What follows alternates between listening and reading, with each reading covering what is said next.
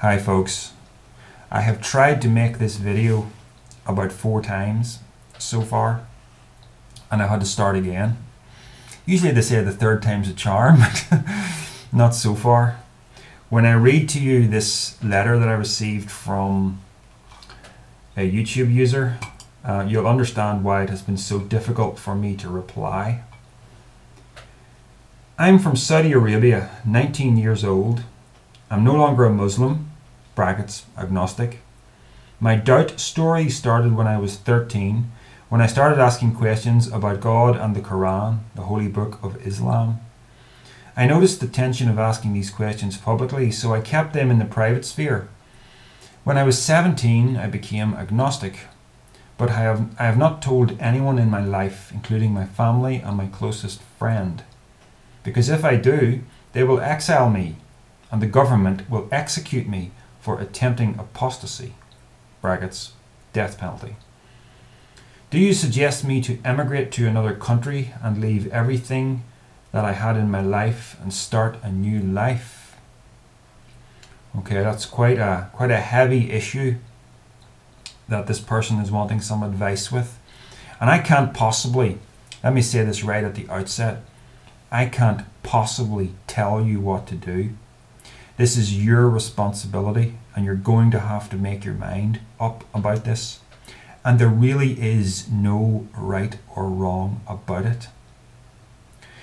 What I would really advise you to do is just to try and get clarity on what the real consequences of both options will be. The consequences of staying where you are, of continuing to enjoy the friendship and the love of your family, but having to suppress your individuality. Can you live with that? Then, what are the consequences of starting a new life abroad, where presumably you'll get to express yourself and your family will know about your exit from Islam? They will disapprove of you, they will disown you, and all the rest of it, and you will have lost your family. Can you live with that? So, I don't know you, so I don't know what you can and can't live with or what you really want out of this life. But I know that uh, we're all thrown into a set of cir- circumstances when we're born. We're all thrown into a set of circumstances that are not of our own making. And you just have to sink or swim with it. You have to survive. You have to do whatever it takes to survive. So I suppose I should say the third option is to declare that you are now an ex-Muslim and to suffer apostasy and to suffer the death penalty. Let's put that right off the table, please. I do not advocate any kind of martyrdom. It goes against everything that I think is important about life, and primarily what is important is survival. Life is useless if you're not living it. So, it's either going to be you stay where you are and you keep your mouth shut, or you go abroad and you be who you are publicly. So let's uh, let's let's consider the ramifications of staying where you are. You know, if you're anything like me, you have this very strong desire to be transparent with people. And to a large extent, I am transparent with people. And I think a lot of people here on YouTube really appreciate how much of myself and my personal life that I actually do inject into these videos. And I'm able to do it because I don't live with any kind of fear of other people's disapproval. And I don't actually need people's approval to feel good about myself. Uh, not everyone's like that, but um, I am. So I'm not afraid to reveal something about my personal life and suffer potentially the laughter and the mockery of some people because that just reveals to me that they're worthless people. Um, so I enjoy that side of my life. I enjoy being able to express myself. I would hate to have that taken away from myself. But at the same time, you know what? I'm not completely transparent with you people. I don't think anybody is really. This is why TV shows like Dexter are popular. Because we relate to Dexter, the psychopath who works for Miami Metro PD. I don't know if you get that TV show over there in Saudi Arabia. I don't know much about your country, but um, you know, Dexter's this guy who knows he doesn't fit in. He's not like everybody else, and he has to hide. So he goes with it and he learns to thrive by living a kind of a double life where he has these terrible urges to kill people. So he uh, he he kind of has a code of honor where he'll only execute people who are bad, who've done something terrible and who deserve to die because of who they are. And that's how he gets, you know, control of himself. But at the same time, this is not a side of his life that he can reveal to anybody else. So he has a double life. And the TV show weaves through all sorts of avenues where he maybe he finds true love he finds someone who actually understands and accepts him for who he is. You know, we all I think the success of Dexter, at least in terms of why I like the show, is because I can relate to having a certain level of, I don't want to call it Jekyll and Hydeness exactly, but we all have parts of ourselves that we're afraid to reveal to people. Now, don't worry, everybody. I haven't killed anybody. I'm not planning on killing anybody, okay? But I have not been completely honest with all of you about who I am and I never will be. And I'm okay with that because I am not accountable to you people. I'm only accountable to myself. And I'm not interested in any false moral aspirations such as what you get through Christianity. But I know that I'm able to lead a productive life and I can get through this life without doing any real harm to anybody unless that person wants to harm me. So that's all you need to know. What's in the closet, Darryl?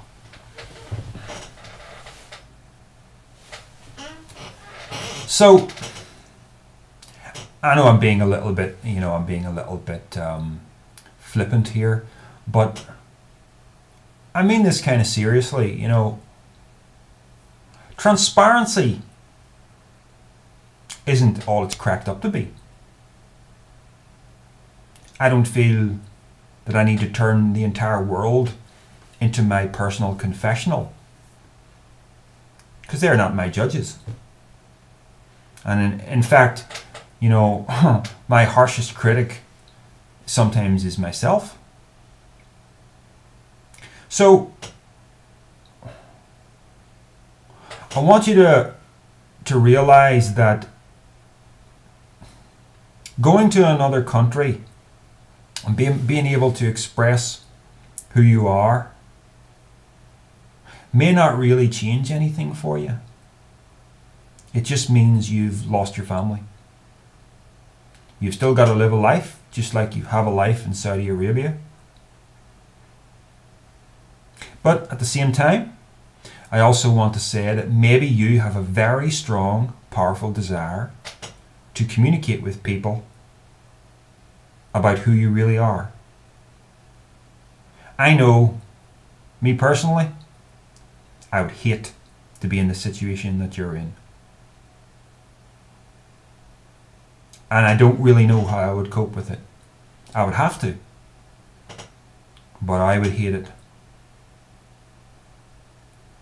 And I really appreciate being in the sort of country that allows me to be able to speak.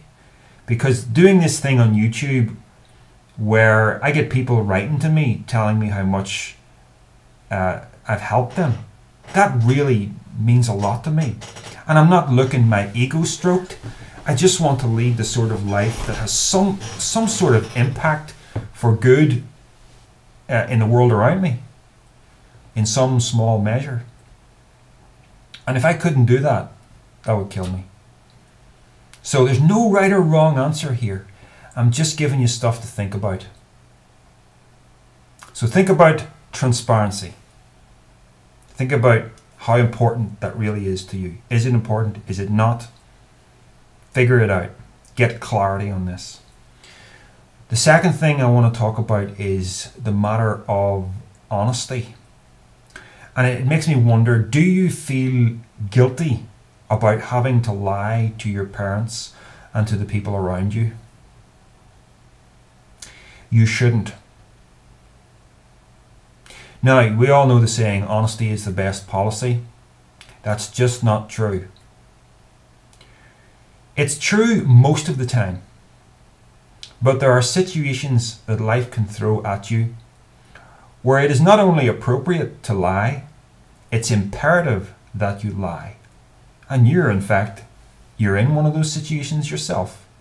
If you tell the truth, you're dead.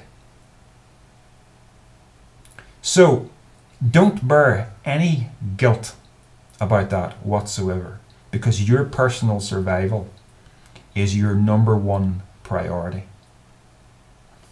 The guilt that we tend to feel about these things, and it's the same over here with Christianity, it's all to do with the religious baggage that was programmed into us from our birth.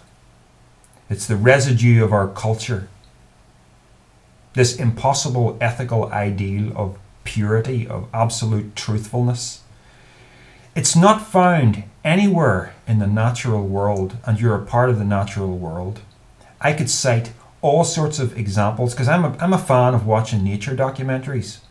And when I watch them, I tend to pay attention to the things that I can draw parallels with in human experience because we're primates, we're mammals, we're part of this whole great diversity of, of life on the planet. And you know what? Among the animal kingdom, deception takes place all over the place. Do you realize that any animal that uses camouflage for defense is attempting to deceive the animal that wants to attack it? It's telling fibs. It's saying, hey, I'm not really here, don't notice me. That's a lie, isn't it? It's the same thing as a lie. There's some really marvelous examples of deception. Um, this is a little bit off topic, but I want to share it because it was it was fantastic. I saw it in a, in a in a David Attenborough documentary, and I can't remember which one it was, and I can't remember what this creature was called. It was some sort of squid or octopus. We'll just call it an octopus because I can't remember. But anyway, on the seabed, we had this large male octopus, and it was guarding a female who was inside a nearby cave. So he was he had basically laid claim to this female, and no other male was gonna get near it. So along comes this much smaller male octopus, who's no match for the large one in a fight. So he uses a completely different strategy. The smaller male brings its tentacles together in such a way at the front that he makes himself appear like a female. And he changes his color, he's able to do that. He changes his color to something that resembles a female and he starts moving towards this larger male. So he walk he goes right past, appearing to be a female, he goes right past the larger male and on into the cave where the female lies. And the larger male just lets him right on past, thinking, Come right on in, darling. Two's better than one. Menage a trois. So, um, this small male goes into the chamber where the female is, and she's a bit of a, a loose woman. So she's quite happy to have this other male come along and impregnate her. So uh, he gets his sperm in, and off he goes. He slinks away again, successfully having passed on his genes. through deception. That's marvelous, you know. So, see this whole thing about never telling lies? That's garbage. Of course, we all realize that in the general run of life, honesty really is the best policy. To give honesty to other people, to expect it from them in return, that creates the best kind of world. But unfortunately, life will sometimes throw you a situation where you have to lie, and so you should. So I'm just saying to you, get more comfortable with the predicament that you're in, where you have to be deceptive. You wish you weren't, but you have to be, and you shouldn't bear guilt about it. That may make this easier to deal with. So that was the second thing that I wanted to talk about. Um, ultimately, staying where you are with your family, not revealing who you are, that's a perfectly legitimate choice. Seeking another life in another country, that's also a perfectly legitimate choice. There is no right or wrong here. You just have to try and get clarity about what it is you want. We are all thrown into circumstances where we're not in control of everything that happens to us. And you know what? We have no inherent right to a life without conflict.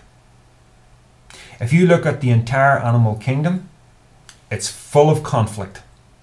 If you look at the arena of microorganisms, it's full of conflict. You sometimes hear me saying this is a satanic universe. That's a very theatric and colourful way of saying that every fractal level of the universe, right from cellular life right up to the entire width of galaxies, every level of it is hostile. And the reason why that is so is to do with energy conversion. I've talked about this before. So I don't want you to feel that um, we, you know, we all want a peaceful life. But I don't want you to feel that there's anything particularly unnatural about being stuck in a situation where you have to face hostility. You know, there is more of the world today that is stuck facing hardship and hostility than there is in these comfortable little pockets of it in places like where I live. And you know, there has here in Northern Ireland we've had our fair share of trouble as well. You're probably familiar with the phrase the troubles, as it was called. There's still a great deal of tribalism here in Northern Ireland between um, Protestant and Catholic communities. There's a lot of segregation. I'm right bang in the middle of a completely Protestant um, area it's the same area that I was born in, and I still live there. And I don't consider myself a Protestant or a Catholic, but this just happens to be where I live. There would be no Roman Catholics anywhere near where I live.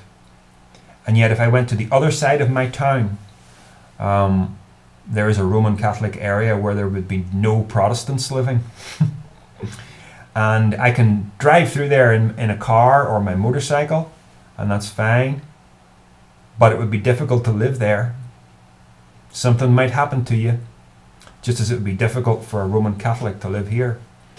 It's not as bad as it used to be. Um, decades ago, people were being put out of their houses and everything. Um, things are calmer, but you know, I was born into this conflict. A friend of mine who lived in this area became a Roman Catholic. And he had to be a Roman Catholic while living in this area. And uh, his mother was. Uh, his mother had connections to the Orange Order and everything, and which is you know a Protestant organization. Um, so that was kind of tough for him. He had to live a, a double life to some extent. But I know that's that's nothing compared to what you face. And I really do feel for you. So I've given you a few things to think about. It's not exactly what you'd call advice. Um, it's just the sort of thoughts that would occur to me if I were in a situation like yours. And that's a real tough situation. And I don't envy the predicament that you're in. But, you know, think about the positives too. That even though you don't see eye to eye with what your culture believes, you have a family that loves you, you have friends that love you. And even though that love could turn to something very nasty, were you to announce certain things, try to remember that these are very deeply brainwashed people. And the love is genuine, despite all the other stuff that is running around in their heads. You're just very lucky in that you've seen through it at such an early age. So, clarify what it is you want with your life and accept the consequences of whatever choice you make. Know what those consequences will be and be prepared to accept them. Whatever you choose. And also, you know, there's no need to be in any real hurry about this. You've only been an agnostic for about two years, so you're still probably finding your feet with all of this. So don't be in too much of a hurry. But whatever you ultimately decide, I wish you all the best.